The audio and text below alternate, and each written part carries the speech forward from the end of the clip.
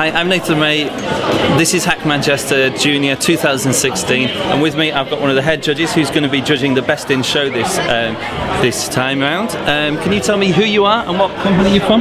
So I'm Craig Dean, I'm from Web Applications UK. Uh, we've been sponsoring Hack Manchester since its very inception and I've been judging since then as well. It's uh, probably our favourite event of the year. Yeah, and uh, what are you looking for in the uh, for the kids to be doing this weekend? First and foremost, we want the children to be having fun. I mean, it's really important that they, they equate coding and hacking away as, as being an enjoyable and fun activity. Certainly when I was their age, you know, writing code was something that I loved to do and something that I enjoyed doing. So that's what we're trying to get them to get them to see how exciting it can be. We also want them to work together as well. This is a real opportunity for them to make new friends and to learn from one another. So it's a really vital part of being a young coder is creating that group of friends that is into coding with you. Excellent. And uh, which team is going to win? I mean, what what is the attributes of the winning team? Do you think? Well, firstly, it's that it's that they've worked together. It's not just one individual that's driving through. It's about using the collective strengths of each individual member. That's a really important part.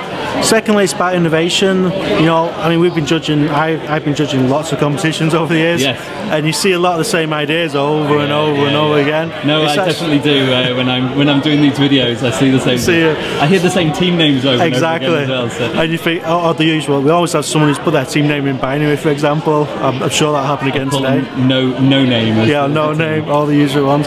So we're looking for that little bit of innovation. That's something we've never seen before. It's really exciting when you get that. And then there's a little bit about making sure that they've communicated the concept. You know, they don't don't need a perfect hack. You don't need something that's you know absolutely working to the nth degree. But it needs to be really able to show and demonstrate what their idea was. So that, that wins normally. Right. Well, thank you very much. My uh, pleasure. Have you got any message for the people watching at home or the, the people watching this back later? Yeah, what are you're not doing here. You know, this is the place to be today. So Thank you very much. see ya. Cheers.